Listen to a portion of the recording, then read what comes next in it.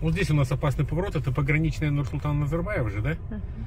Сюда на мост, на Иртышский, на понтоны вернее. И вот здесь будут сносить, сказали, вот эти домики. Вот тут видите, постоянно к нему приезжают э, фуры и так далее. Вот фура, представляете, вот почему я здесь остановился? Потому что фура, когда начинает сюда поворачивать, вот с Нур-Султана, она однозначно бедная. В общем, она лишь ждет, пока вот, э, короче, всем советую вот так становиться. Но фур нету, понятно, сейчас, но тем не менее, вот так нужно подальше. Вот вторая полоса.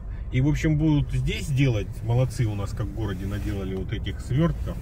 Это так здорово, это так экономит время. Ну, соответственно, кое-кому и нервы, нам-то уже куда торопиться, нам некуда. Но людям остальным, торопыкам особенно. Сегодня вот сейчас с утра многие, кто торопились, прям газуют так еще.